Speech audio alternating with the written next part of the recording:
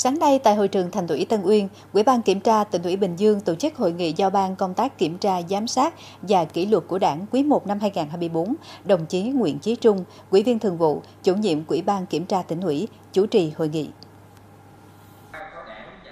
Theo báo cáo của Ủy ban Kiểm tra tỉnh ủy, trong quý 1 năm 2024, cấp ủy, Ủy ban Kiểm tra các cấp đã quan tâm lãnh đạo chỉ đạo, tổ chức triển khai thực hiện các nhiệm vụ kiểm tra giám sát theo quy định, thường xuyên kiện toàn nhân sự của ban kiểm tra các cấp, xây dựng chương trình kiểm tra giám sát năm 2024 có trọng tâm trọng điểm, phù hợp với tình hình thực tế tại địa phương, Nội dung kiểm tra giám sát tập trung vào việc chấp hành cương lĩnh chính trị, điều lệ đảng, việc thực hiện những điều đảng viên không được làm gắn với trách nhiệm nêu gương, việc chấp hành chính sách, pháp luật của nhà nước, việc chấp hành quy chế làm việc, nguyên tắc tập trung dân chủ, công tác tiếp nhận, xử lý đơn thư, giải quyết tố cáo, khiếu nại, kỷ luật đảng đối với tổ chức đảng, đảng viên được thực hiện đúng quy định.